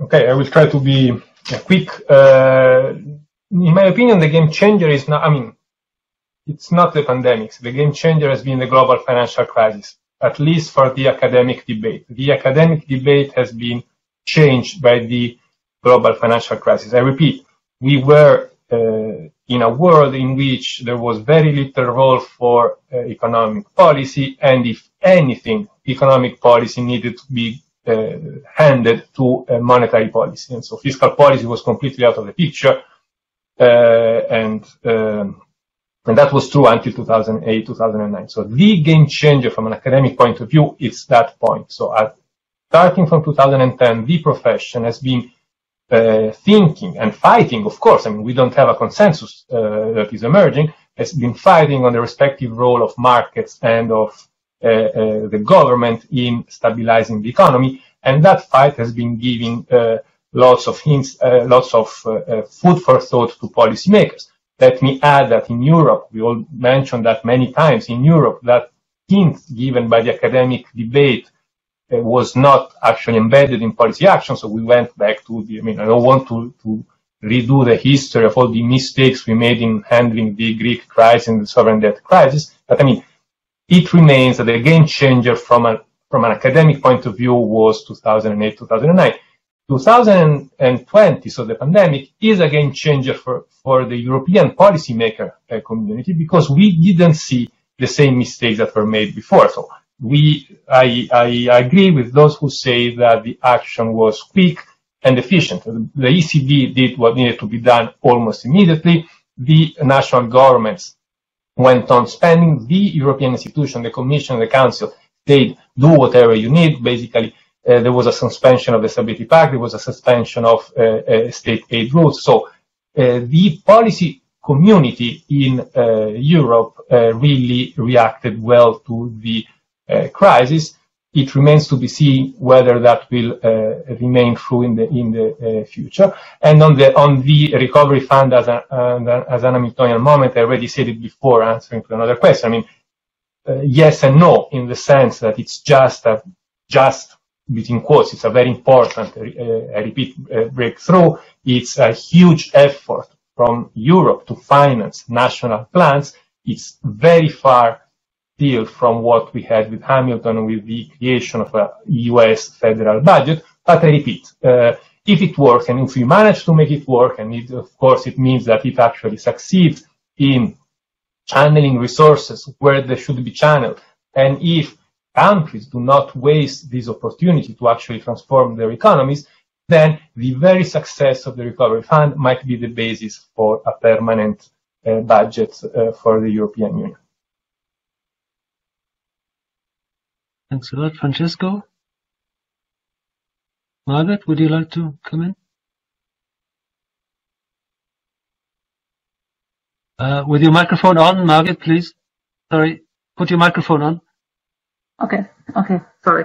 Um, I wouldn't see a Hamiltonian uh, moment. Also, I mean, there, there, there is, there are some remarkable um, events and decisions going on, um, and in some respects, uh, things appear to be possible that weren't kind of unthinkable like, like nine or ten months ago.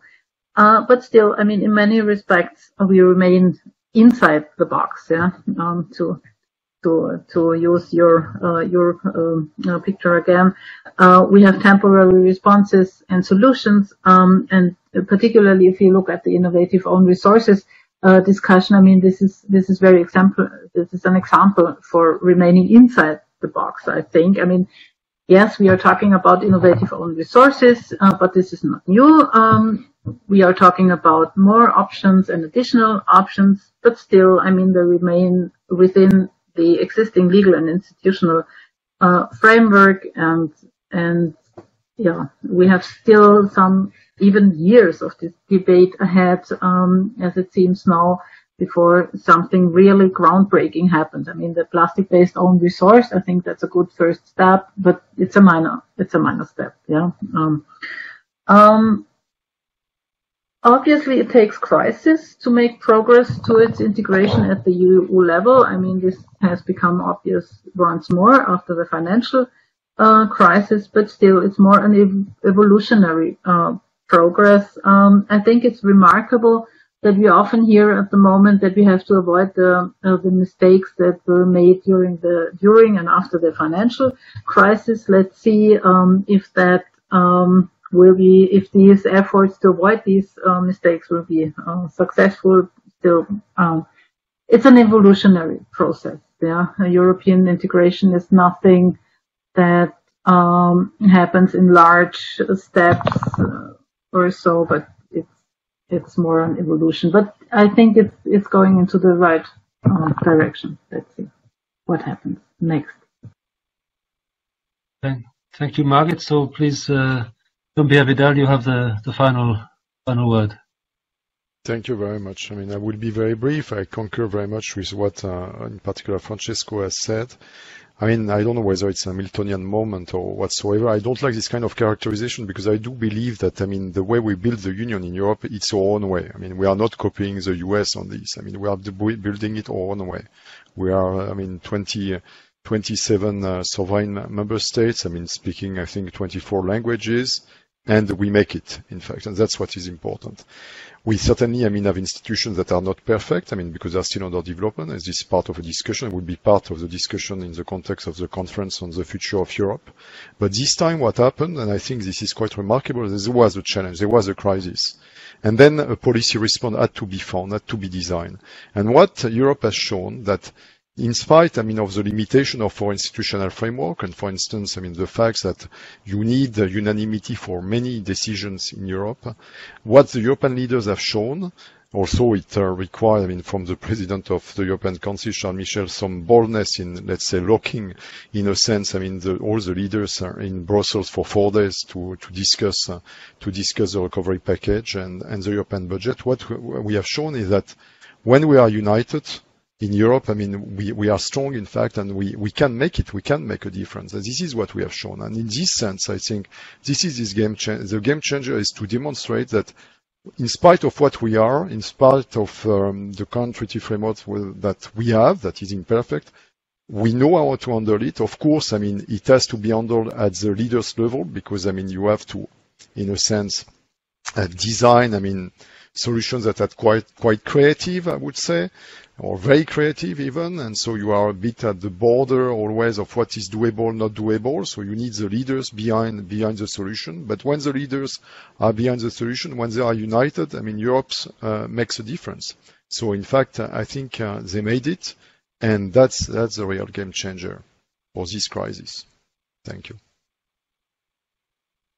Thank you very much. Uh, that's a great way to end the session. I think thank thanks you uh, Pierre Vidal, uh, Margit Schratzenstaller, Francesco Saraceno. Thanks to people also in the in the background. We've on the technical side where I think it was a was a success the the, the first session. Thank you to those following uh, as attendees and on the live stream. Uh, so I'll close this uh, first session now. I thought that it was very interesting. In half an hour, we have a second uh, session with the title Theories of Inflation do central banks control the price level?